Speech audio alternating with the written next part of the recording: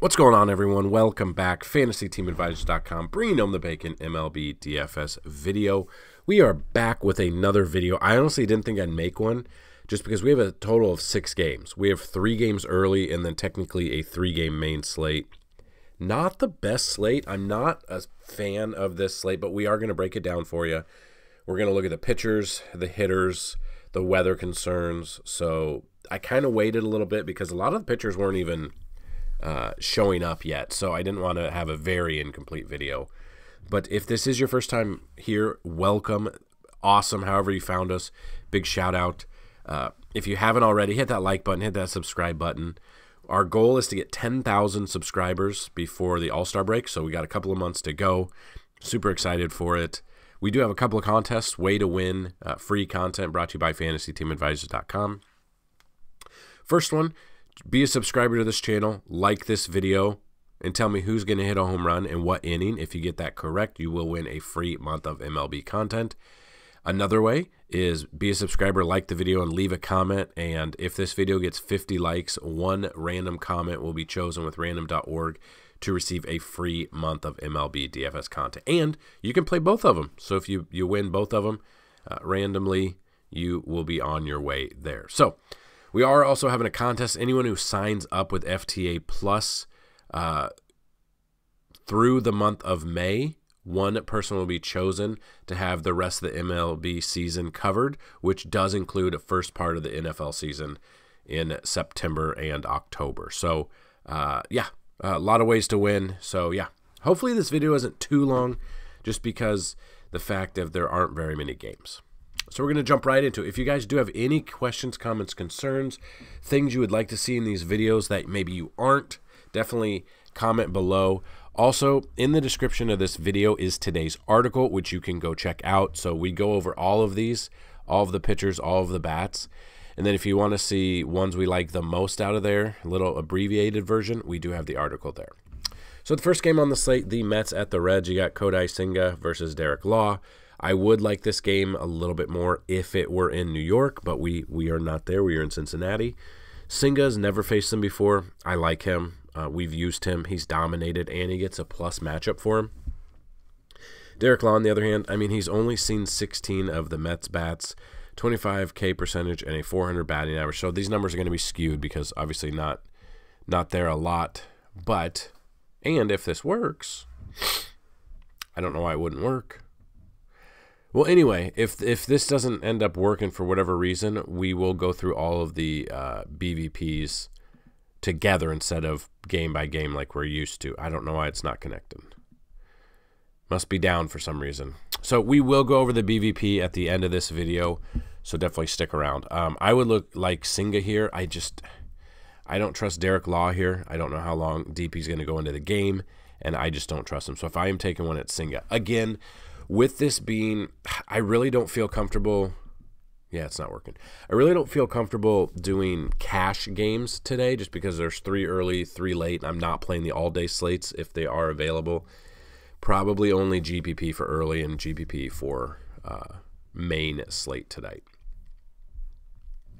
Next game, the Padres at the Minnesota Twins. You got Yu Darvish versus Bailey Ober. Honestly, I like both of these pitchers. Uh, I did pick up Ober in my season long league a couple of weeks ago and uh, haven't been disappointed. Darvish, uh, his career numbers against the Twins 39 plate appearances, 38.5 K percentage, a 243 batting average. It's kind of high strikeout rate there uh, for him.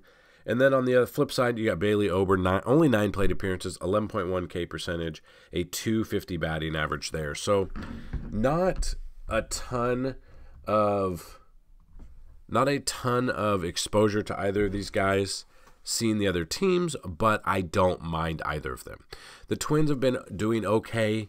The problem is uh, Darvish, when he's on, he's one of the top pitchers uh, in the game still. Got a ton of strikeout potential, but it just depends if he's got his stuff because it is he is on the road. He's going to get up against Bailey Ober. Ober, on the other hand, only facing nine of the Padres. It's kind of a scary lineup if just on paper, but if they don't perform, uh, they really haven't seen Ober much. So honestly, I like both of these. if you are playing cash for whatever reason, I think Darvish would be your cash option. I think Ober would be your GPP. Let's see if this is working now.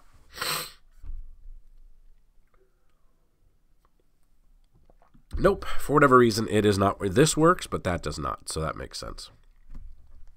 White Sox at the Royals is next. You got Mike Clevinger versus Brady Singer. Clev, 45 plate appearances, a 159 batting average, striking out 40% of the KC batters which I really like. You know, it just depends. Um, Kansas City's been hitting and winning games at home lately, but they aren't a good team. So that's what's crazy to me. Um, this is why it's a GPP only day because I like Clev on paper against Kansas City, but then we saw what Kansas City did yesterday. Flip side of that, Brady Singer, 83 plate appearance, 253. The White Sox have been hitting terribly as well. Honestly, I like both of these pitchers. Again, I am only strictly doing GPP, so I will have multiple lineups and these guys will be in them. So uh, I will have exposure to both of these pitchers. I don't know why the pictures aren't working. I wonder if my internet's going out. Hopefully this video is recording and, and then uploads for you. Flip side of that, you've got Rays at the Yankees. So the Yankees just swept the Oakland, the mighty Oakland Athletics at home. Now they get the Rays, who they just faced last weekend, where they should have took two of three, but they lost the Sunday rubber match. You got Drew Rasmussen versus Domingo Germán. Rasmussen, 43 plate appearances, 32.6 K percentage, and a 195 batting average. These are fantastic numbers. I think they'll go very overlooked um, because they are facing a Yankees team who's put up a ton of runs, but again, that was against Oakland. So that's kind of what I'm looking at. I don't mind either of these pitchers. And then you got Germán here, 91 plate appearances, a 20.9 K percentage, 256 batting average here. I like both of these pitchers both are what I would expect if if I am looking in cash for whatever reason, I would be looking at uh, Drew Rasmussen for cash and Germán for GPP. That's just kind of in my mindset. When Germán is on, his stuff is fantastic, but if he's off a little bit, he can get hit hard, and the Tampa Bay Rays can get hit hard. Uh, we've they can hit hard. We, we've seen that. They did just lose a series to the Orioles, which this entire season doesn't make any sense to me right now. The Pirates being quote unquote good and in first place. Uh, the Dodgers were behind the Diamondbacks for a while. The Cardinals were X amount of games under 500. Um, the Yankees being in last place. It, it just it's weird to start. Let's put it that way. Giants had the Diamondbacks. Next game, Alex Cobb versus Tommy Henry. I don't know why these pictures aren't shown now, but whatever. Cobb, 91 plate appearances, a 275 batting average, striking out 16.5%. And then Tommy Henry, 10 plate appearances, a 125 batting average. I would like this game a little bit more if it were in San Francisco, but it's not. It's in Arizona. So we'll take what we can get. And yeah, that's basically it. I like Cobb for I, both GPPs. I don't mind. Again, we're into the GPPs today. For me, at least, that's my thought process. If there's three games on a any given slate, that is a GPP only slate for me. But I do, I wanted to dig into these numbers, but we'll dig into the BVP at the end of this. Um, I will be looking at some of the Arizona bats against Cobb because he has given up a 275 average. And then as of right now, uh, day of the game, Oakland still has not announced who is pitching for them. But you got Nate Eovaldi versus Oakland A's, the pitcher, whoever it is, in Oakland. Give me all of the Eovaldi here. 29 plate appearances, 103 batting average, 37.9 K percentage, and he's been doing really well. Minus one start that I picked him up in my season long and then dropped him. He's been doing very well, and he's got a fantastic matchup against the A's. So those are the pitchers. If you want to see, here's the weather concerns. The White Sox at the Royal, 65% chance of rain. It's the same storm that should be hitting my house as well. Um, it's looking kind of nasty right now, so this is something to pay attention to. Um, if one person, if you think this game gets played, comment that down below. If the game does get played full five innings, then I one person who comments and subscribes and leaks a, leaves a like on the video will be given a free month of MLB DFS. So, if you got to like the video, be a subscriber, and tell me I think the Kansas City Chicago game gets played. If it does, five total innings, it's an actual game. One person who comments will be chosen as the winner. So, good luck on that.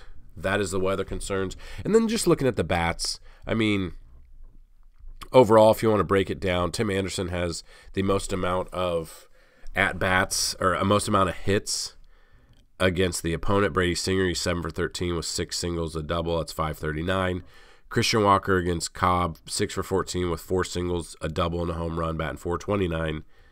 Yandy Diaz versus Domingo Germán, six for 17, three singles, two doubles, one home run, 353 batting average. Then Sal Perez against Clevinger has two home runs. Correa against Darvish has two home runs. Uh, yeah, and you, we can break it down. There's not a lot here, um, but yeah. So it's broken down, and this is all on the website. You can go check out fantasyteamadvisor.com. It's all over there, and we have that for you in charts. We also have uh, our cheat sheet.